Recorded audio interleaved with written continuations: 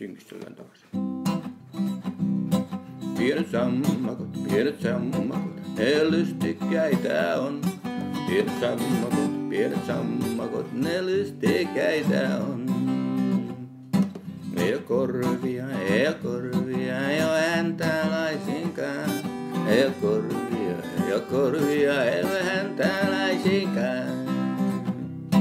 Pienet sammakot, pienet sammakot, ne lystikkäitä on. Pienet sammakot, pienet sammakot, ne lystikkäitä on. Ei oo sorvia, ei oo sorvia, ei höylää laisinkaan. Ei oo sorvia, ei oo sorvia, ei höylää laisinkaan. Miten sitä höylää? Ei mitenkään. Eikä sorvaa. Hmm. Korpikuusen kannon alla on mörrimöykyn kolo. Siellä on koti ja siellä on peti ja peikolla pehmoinen olo. Siellä on koti ja siellä on peti ja peikolla pehmoinen olo. Korpikuusen kannon alla on mörrimöykyn kolo. Siellä on koti ja siellä on peti ja peikolla pehmoinen olo. Siellä on koti ja siellä on peti ja peikolla pehmoinen olo. Tiutau, tiutau, tilitali, tittan, sirkat soittaa salolla. Pikkuset peikot piilossa pysyy ja lyövät päähän haolla.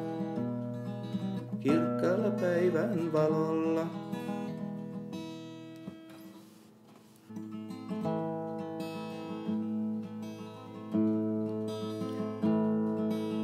Karhun poika sairastaa, häntä hellikäämme. Lääkkeillä hoidelkaa nalle ystävämme. Maito tuoren lämpöinen, hyväks olla voisi. Vehnä korppu valkoinen, ehkä avun toisi.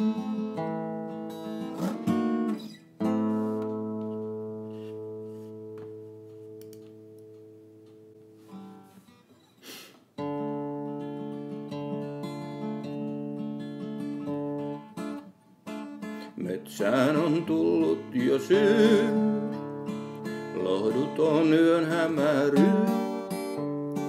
Vaan hongat huokaillessaan suojaavat kukkiamaan. Hangiston suojan on jääneet pienoiset metsäorvokit nuo. Syksyn unhoitti lasta pois. Yksi näin allapäin saavun kukkien luo. Poimin armaan lein. Anteeksi saa, tien onnelaan, tunnen taas löytänein.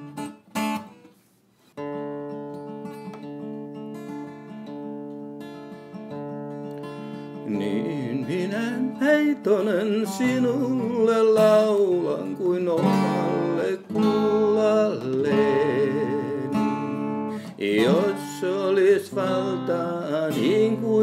mieli, niin ottaisin omakseni. Niin minä neitonen sinulle laulan kuin omalle kullalleni. Jos olis valtaa niin kuin on mieli, niin ottaisin omakseen.